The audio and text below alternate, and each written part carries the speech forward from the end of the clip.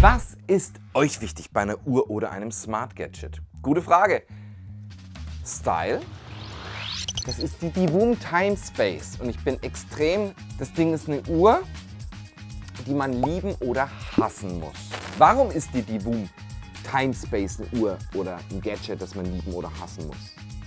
Finden wir es raus im Video und ob ihr das Teil wollt oder braucht, schauen wir uns an.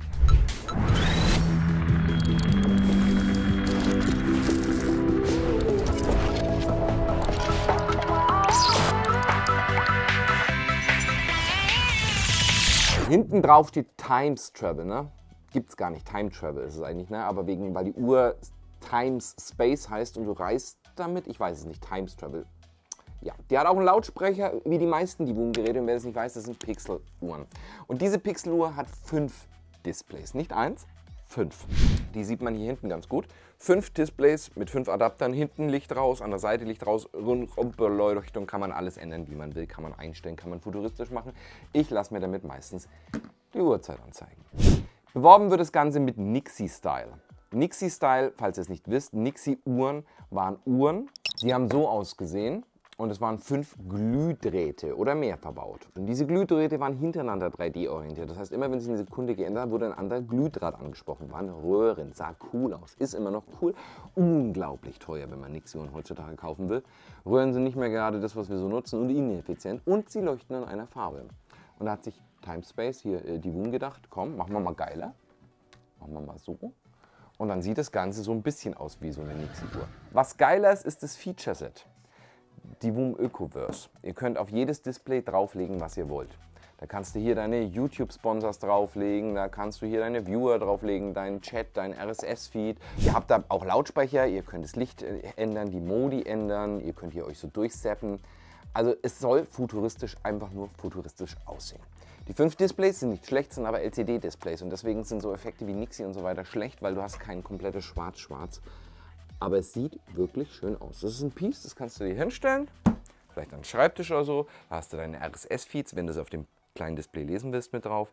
Da hast du dein Wetter, deine Notifications, kannst du koppeln. Alles halt im typischen die Voom-Universum. Muss man mögen, die Pixel Watches. Kannst du deine eigenen Watchfaces machen, kannst du mit deinem Handy rumarbeiten, so wie es halt bei die Voom Watches Uhren, Dingern seit Jahren so sind. In Echtzeit mit Wi-Fi aktualisiert.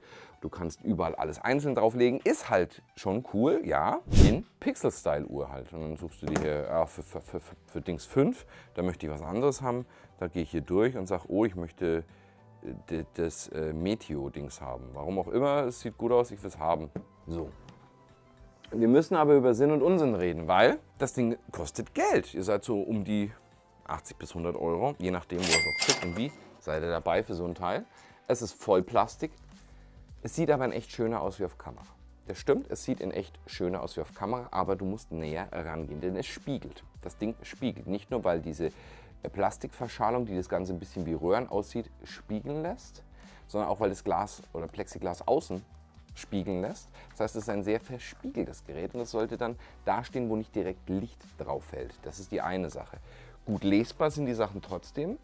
Jetzt, wenn du Brillenträger bist, brauchst du schon eine ziemlich große Schriftgröße, um da was genau zu erkennen oder musst dich darauf konzentrieren, was für mich eher ein bisschen nervig ist, weil ich die Sachen eher ein bisschen größer gern habe. Man muss Cyberpunk-Futurist sein wollen oder es hier irgendwie in sein Set oder Man Cave einbauen wollen oder in, in, ins Women Cave dass du das so als Setpiece hast und es zeigt dir dann Sachen an oder eben ins Desk-Setup und man muss es geil finden. Es ist auf jeden Fall was, was es sonst nicht gibt. Keine andere Firma hat sowas. Die haben zwar Nixie-Clocks, wo man auch andere Sachen anzeigen kann, aber sowas Futuristisches, so mit dem Design-Style und so, hat jetzt keiner so. Es kam auch in einer geilen Box an, muss man sagen. Und man kann alles mit dem Divoom-Zeug einstellen, wie immer. Fehlerfrei, schnell, einfach. Aber wichtig für euch, das Ding hier ist ein Gadget, das fällt in die, in die Kategorie muss oder brauche ich nicht. Und das müsst ihr echt für euch entscheiden, ob ihr sowas braucht oder nicht. Denn das ist viel Geld für, ich gebe dafür fünf Mini-Displays, die rumturnen, was aus. Das stimmt. Und ihr habt keine Anbindung jetzt so einfach an andere Ökosysteme. Ihr könnt jetzt nicht einfach alles von Home Assistant dahin schaufeln. Ihr müsst schon entweder euch selber diese Displays anlegen mit einem Creator, mit einem Creator, dann könnt ihr die hochladen und sharen und so weiter oder eben cool im Netz finden. Unter der App und dem Ökoverse gibt es ein riesiges Forum und so weiter, die sich darüber austauschen, über diese Pixel-Displays. Die haben ja Liebhaber. Man kann da auch Scoreboards machen. Ich habe einen Punkt gemacht, du hast einen Punkt gemacht. Kann sich das hinstellen ans Spielbrett und könnte dann sagen, pass auf, hier, hier ist so ein Score-Meter und die Uhrzeit mit drauf. Also es kann echt einen Mehrwert haben. Man muss aber genau die Zielgruppe dafür sein, die das geil findet und nicht nur einmal so hinschaut, ja, ist ganz cool, aber bräuchte ich jetzt nicht. Dann ist das eine schöne Sache. Die Knöpfe funktionieren ganz gut. Ich hätte mir ein bisschen mehr Haptik gewünscht, als nur so leicht durchzudrücken. Auch die Lichtverhältnisse und dass du jedes Licht an- und ausmachen kannst, Farbe, Scaling ändern kannst, ist schön. Auch, dass du einfach schnell durch diese Modi durchschalten kannst, finde ich sehr schön. Wenn man die Füße öfters mal abmacht, dann fallen sie auch leicht ab. Das heißt, macht die nicht so oft ab. Da drin sind Schrauben versteckt, falls man das Ding aufmachen wollen würde. Ich finde, das Ding ist gut. Und es macht, was es soll. Es ist relativ wertig, auch wenn es Plastik ist. Ist eingebaut, die Displays sind toll, die sind scharf, alles, alles toll, aber man muss es wirklich, wirklich wollen. Ich wollte es euch deswegen vorstellen, weil es eine Kuriosität ist. Bei mir hat es natürlich Platz. Ich kann hier meine YouTube, meine Twitch, meine Facebook, alle Zuschauer live sehen auf einem kleinen Display und die Uhrzeit und so. In meinem Stream hat es natürlich einen großen Mehrwert, wenn ich das Ganze hier nicht auf dem PC oder was irgendwas, sondern ich habe hier mein dezidiertes Display und sehe immer genau, was ist da gerade los. Ich kann mir hier auch äh, Gifts, Supers und so weiter einblenden lassen, also für Streamer ja, auch für Leute im Mancave. Aber müsst ihr wissen. Ne? Also so, ich bin wirklich zweigespalten. Ich mag diese Pixel-Displays, aber es ist immer so eine Frage, das Ding hat keinen Akku. Wie manche anderen Divun-Geräte hat gar keinen Akku. Das heißt, es braucht immer Strom. Das heißt, es braucht einen guten Ort, wo es stehen kann. Und dann muss es ins Set passen. Und ihr müsst es wollen.